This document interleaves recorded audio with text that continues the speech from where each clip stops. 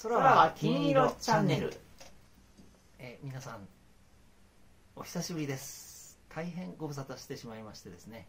えー恐縮です。うん。うん。また冬を迎えてしまいました、そうなんです。えー前回1月だったんですよね。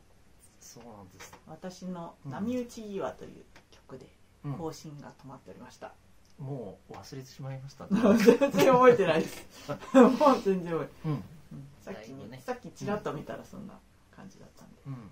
えー今日の今日は12月18日なんですよ。うん。あよかったね。2023 1年一年以上うん。止まることなく、そうですね。年内に更新できた、もうほぼねあの首の皮一枚つながってる感じでうん。出ますけれども、はい、今日はね、高橋の曲で。はいお送りしましたよ。はい、うんえータイトルは「Slight Light」という曲スライトライト？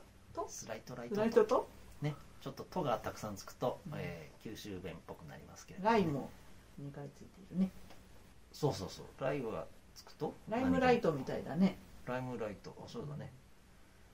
Slight Light。 Slight Light。なんか語呂が良くてね、えー気に入っていますけれども、意味はご存知ですか？うんわからない。わからない。わからないと、うん、えっ、とだからライトと。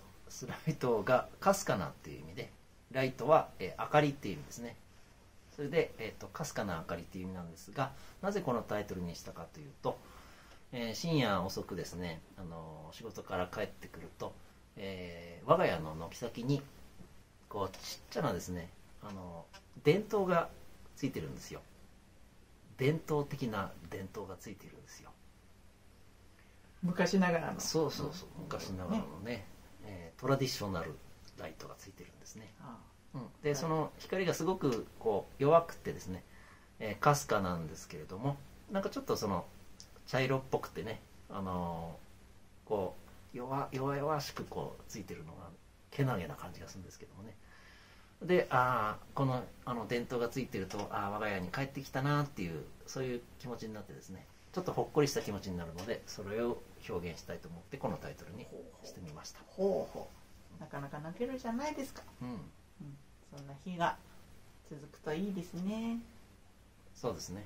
そのほんわかしたきような気持ちが、うん、いつまでも続くと。お土産はご無事よお父さん。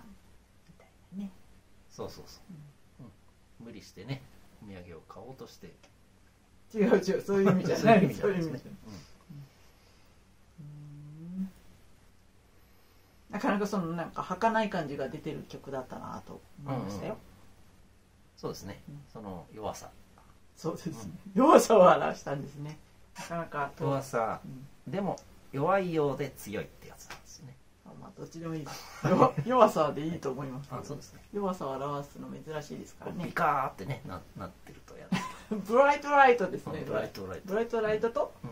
bright light Slight Lightとレーザービームってこうピカピカピカピカピカってなってたらうんちょっと嫌な感じがしますけれ変な感じかなどもねうんまあそんなもう感じです時もね、クリスマクリスマスが近いですから、うんはいイルミネーションがイルミネーション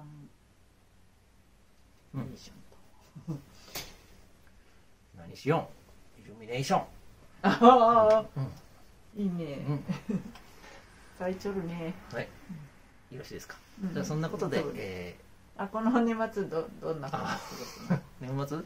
年末俺はあのだからその一緒の仕事が2本あるでしょ。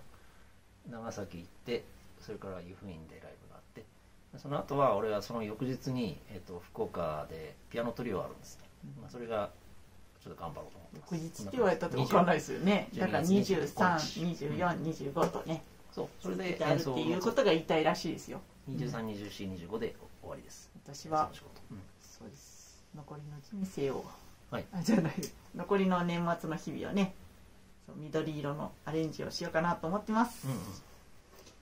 そう23日は長崎の緑クリニックで緑さんうん。と緑色を。あなんろれつが回んねや。大丈夫ですか？薬が切れましたか？あとはね、うん。24日に、うん。えー湯布院の平瀬さんのお家で、はい。えー緑色みたいなやつ。そうです。ちょっとメンバーがね違いますけど。で25日はあのトリオ。うん。ピアノトリオ。私は関係ない。うん。はい。いいの？もう,、うんもういい。詳しく言わないんですね。あそう。あ別にいいっすよ。あいいっすいいっすいいっすいいっすいいっす。いいっすはい。はい、うん。はい、じゃでしょうかね。はい、こんなところで、これからもよろしくお願いします。えー皆さん、本当寒くなりましたけれども、元気にお過ごしくださいませ。またお会いしましょう。それでは、